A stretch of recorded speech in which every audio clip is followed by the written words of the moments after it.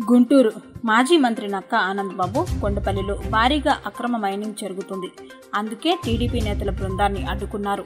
YCP ప్రభుత్వానికి దమ్ముంటే అక్రమ మైనింగ్ జరగడం లేదని నిరూపించాలి. పోలీసుల ద్వారా ప్రతిపక్షాల గొంతు నొక్కుతున్నారు. ఎస్సీ ఎస్టీ అట్రాసిటీ చట్టాన్ని జగన్ దుర్వినియోగం చేస్తున్నారు.